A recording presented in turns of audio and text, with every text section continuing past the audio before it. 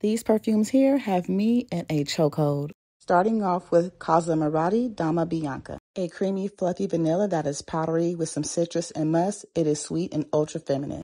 Lattafa Mayar, raspberry lychee sherbet that's refreshing, sweet, mouthwatering, and very flirty. Armaf Club de Nuit Woman, Clean powdery florals with a hint of sweetness. Very elegant, very classy. Associage Chevet d'Or. Deep jammy rose with strawberry, magnolia, and vanilla. Paired with Bath & Body strawberry pound cake and thank me later. Dolce & Gabbana, the only one. Sweet powdery vanilla with coffee, florals, and deep caramel. It's gourmand yet fresh.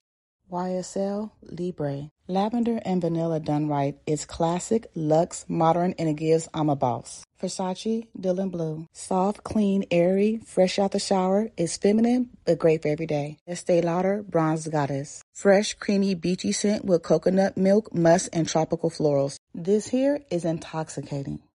Dawkins Arome Pink Cotton. Fresh, clean linens wrapped in sugary, sweet cotton candy.